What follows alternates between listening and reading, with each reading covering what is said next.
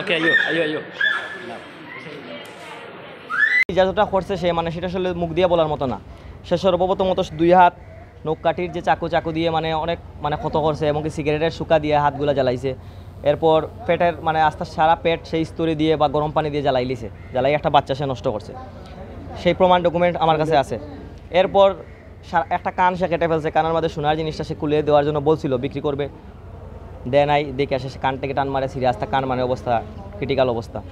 তারপর মাথার চুল মাথার চুল সে কেটে ফেলছে মাথার চুল কেটে ফেলে সে মানে লজ্জায় যাতে কাউকে দেখাতে না পারে মেয়ে থেকে তাকে পুরুষ বানিয়ে ফেলছে। এখন যে পরিস্থিতি মানে মেডিকেলের বিছানায় সে মানে নিচে শুয়ে আছে অবস্থা খুবই খারাপ। আসলে আমরা প্রশাসনের সহযোগিতা চাই আর এইরকম মানে কেউ যাতে কেউর সাথে করতে না পারে এই যে মানে ঘটনাটা সে গোটাইছে বা করছে আমার বোনের সাথে হাজ করছে, কাল হয়তো আপনাদের বোনের সাথে করতে পারে। আরও আছে। আসলে ও আসলে আমার বোন না, আপনাদের সবারই বোন। তো এরকম মানে করাটা সে উচিত হয় নাই। মানে এটার মানে দৃষ্টান্তমূলক মানে আমি শাস্তি চাই।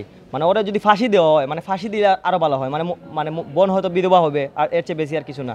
কিন্তু ওরা ফাঁসি দেওয়া দরকার। মানে এই যে পরিস্থিতিটা করছে মানে খুবই মানে গুরুত্বপূর্ণ, বাজে অবস্থা করছে। যদি আপনি মানে এটা দেখার বিষয় না, আপনারা মানে দেখতে পারবেন না। সেটা মানে দেখার মতো না। মানে দু চোখ দিয়ে মানে অস্ত্র জ্বরবে সেটা দেখলে। মানে এইরকম অবস্থা মানে করছে। আমার বোন বিগত দেড় বছর আগে আটগ্রাম কলেজে পড়া অবস্থায় আমার বোনরে কিডন্যাপ করিয়া রাহাত নামে একটা ছেলে নে। তখন আমার আব্বা অসুস্থ ছিলেন, আমরা আব্বা নিয়ে মেডিকেল ছিলাম ভর্তি। আমরা খোঁজ খবর খুব বেশি না নিয়েও নিছি না সরম। বোনের সরম বুঝিয়া বাড়িতে না আসতে পারিয়া কারও দুঃখ প্রকাশ না করিয়া কইছেন যে, যখন আমার তো সব সারিয়া আইছি, তখন আর পরিবারটা জানানিত নাই। না জানা অবস্থায় দুইটা বাচ্চা নষ্ট করা হয়েছে। দুইটা বাচ্চা নষ্ট করার পর আমরা মনে হয় জানছি না। যোগাযোগ করতে দেন না তাহলে আমার বন্ধ করে রাখি দে। বিগত এক মাস থেকে মনে হয়, বোনের জামাই কানাডা যেটা বলিয়া দশ লক্ষ টাকা মনে যৌতুক চাই তখন বোনের কথা হইল যে আমি যখন বাবার বাড়ি থেকে আইছি আব্বার আমুক দেখছি না আমি তো বাবার বাড়ি টাকার জন্য যেতে পারতাম না। তাই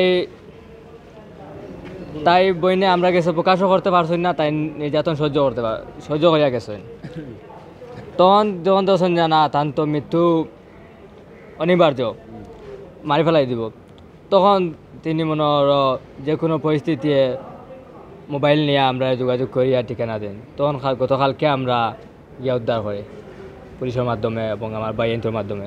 এর আগে তুমি জানো না, কোন জায়গা স্থান গেছো বা কিটা বলতে যোগাযোগ মনে হয় সে নিজে আমাদের সাথে যোগাযোগ করতো করলে বলতো আমি এনডিআর ডাকাত এই সেই।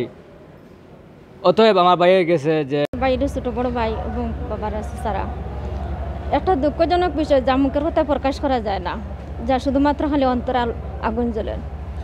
আমার ছোট বোন তাহমিনা বেগম চৌধুরী আমি ওর বড় বোন ফাতেমা জান্নাত চৌধুরী। উনি ওর সাথে লাভ ম্যারেজ করে মানে পালিয়ে নিয়ে কিডন্যাপ করে বিয়ে করেছে। তারপর আমার আব্বা মারা গেছে। আব্বা মারা যাওয়ার পর উনি আমার আব্বারে, আমার বোনকে দেখতে দিতে আসেনি। অতবার গলায় একটু গলায় সোনার হার ছিল, কানে দুল ছিল, ওগুলো নিয়েছে। তাই ভয়জনক বিষয়, উনি আর বাড়িতে কোনো দিন আসে নাই। আমাদেরও দুঃখজনক বিষয়, উনি উনি আমাদের আব্বা না দেখা ওনারে আমরা কোনো আশ্রয় দিই নাই। আজকে দেড় বছর, কিছু কিছু মানুষ আমরা হয় যে ওনার উপর নির্যাতন ওনার উপর নির্যাতন, আমরা মানে ওগুলা নিয়ে নেই না। কারণ আমরা কষ্টগুলো আমরা মাঝে থাকে আজকে পর- আজ পাঁচ সাত দিন থেকে শুনছি যে ওনার ওনার উপরে খুব বেশি নির্যাতন চলে। বিগত এক মাস থেকে। গেছে কালকে আমরা খবর পাইছি যে উনি আটক আছে বন্দি আছে। তাই জানলাম যে ওর বাড়ি হয়। এ মানে খালিগঞ্জ নিচে খালিগঞ্জ নূর রস্তুম নূরপুর গ্রাম তার বাড়ি। আর তারা উদ্ধার করা হয়েছে সিলেট শাহজালাল ও শাহপুরান রস্তমপুর শাহপুরান রস্তমপুর গ্রাম আবাসিক এলাকা। ওখান থেকে ও আমার খালার গুরু বাইতারা উদ্ধার করছে। নির্যাতন গিলা গিলা? নির্যাতন নিলে মাথার চুল খাটা এরপরে খান খাটা সারা হাত মানে সিগারেটের চুকা দিয়ে জ্বালানো নিসপেট জ্বালানো। জি।